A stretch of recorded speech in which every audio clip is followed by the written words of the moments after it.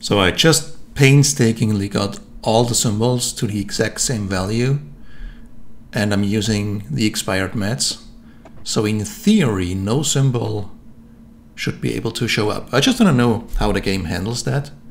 So let's find out. Get rid of this guy, so nothing will change.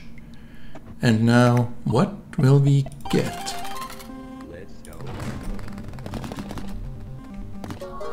Lemons. Lemons.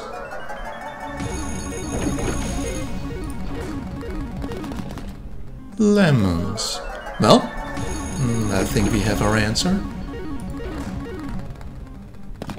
Looks like if all symbols have no chance to spawn, we only manifest the beautiful lemon.